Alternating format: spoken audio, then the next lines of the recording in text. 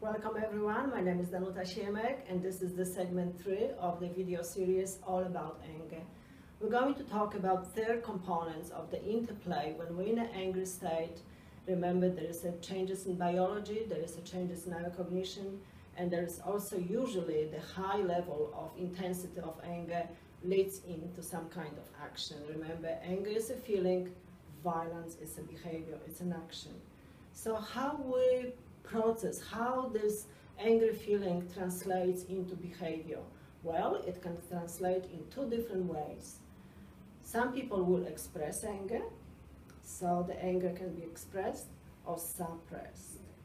Anger can be expressed, it's visible to everybody, or suppressed. Well, when the anger is suppressed, it's also visible, but it's not as obvious that it's anger-based behavior. So when anger is expressed, we can express in two different ways. We can express as a aggressive behavior, or we can express as a passive-aggressive behavior. Aggressive behavior is not just physical violence. We all know that physical violence is a felony and we can be incarcerated. It's actually can be, it's a criminal offense. And I happen to work for four years with people who committed, men and women who committed violent crimes.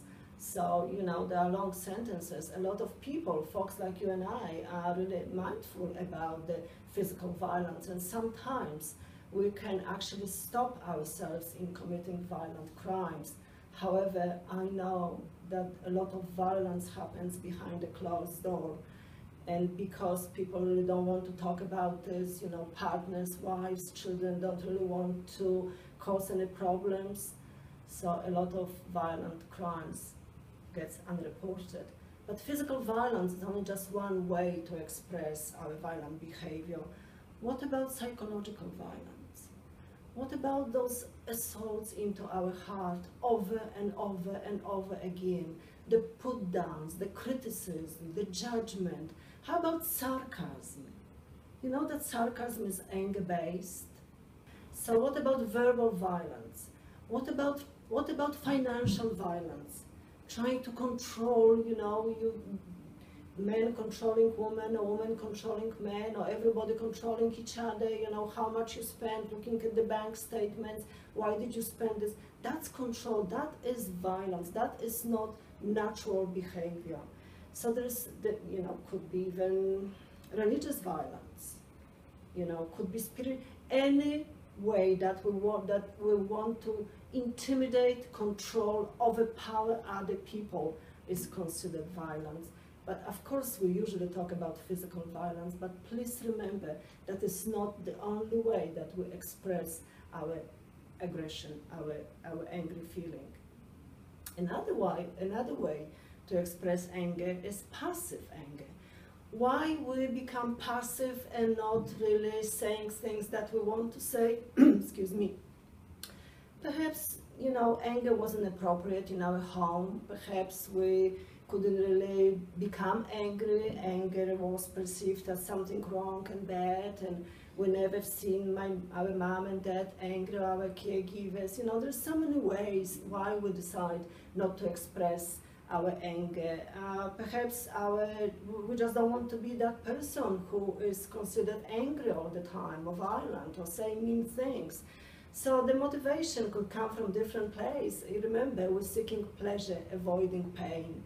So we can be very composed in the way. It Doesn't mean that we're less angry. It means that we've got a different way to facilitate the anger. So the way we're expressing anger in a passive-aggressive way, it looks like mm, maybe we're not answering the question, maybe conveniently our phone just ran out of of battery, maybe we weren't in a place that there wasn't any reception, maybe we withdraw our attention to someone, maybe we withdraw our affection to other people, maybe when we ask of our opinion, we could say, I don't care.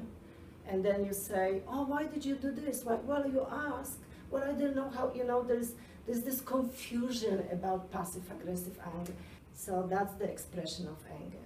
Anger is also known as a secondary emotion. I'm going to spend a few minutes on that because what we're seeing as anger it really, we're seeing anger, we're seeing aggressive or passive anger.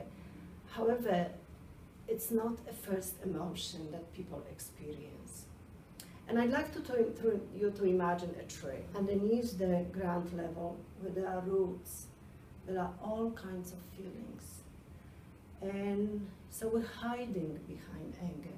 We're hiding our true, authentic, vulnerable feelings behind anger. Let's say that someone hurt our feelings. Could be through the actions or could be through, through, through the verbal comments, you know, and we feel hurt. And instead of saying, hey, I'm feeling hurt right now, you really hurt my feelings. You know, some people just totally incapable of saying this, or you know what, another explanation is they're not aware what is the authentic feeling, what is the first feeling that came up, that showed up for them.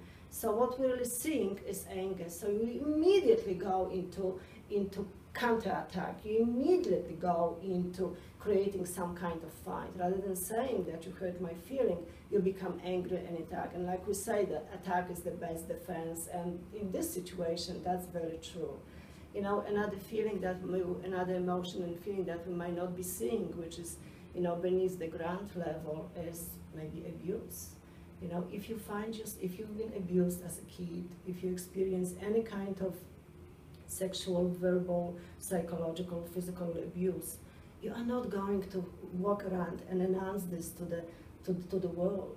So when you find yourself in the situation that remotely is similar to the abuse you experienced, you are going to attack again with anger. So when we're seeing anger, it's not the first feeling that you might be experiencing.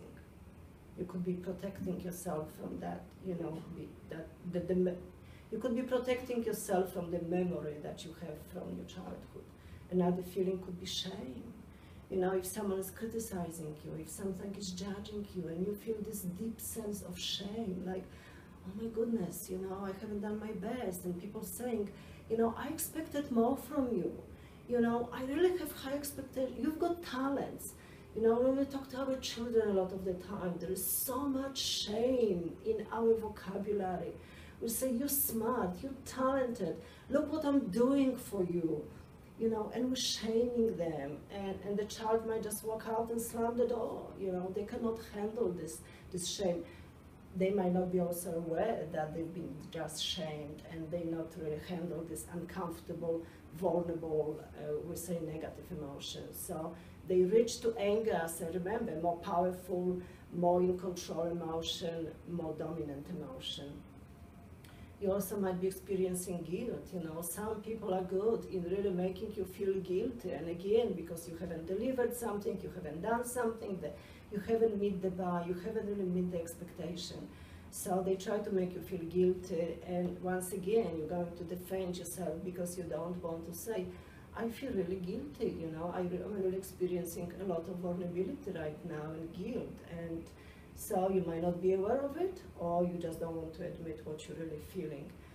Another feelings that, you know, another feeling, there's so many feelings, there's no, that there's impossible for me to name them all, but just the more obvious ones, the ones that I worked with, like the fear of rejection. You know, why didn't you call?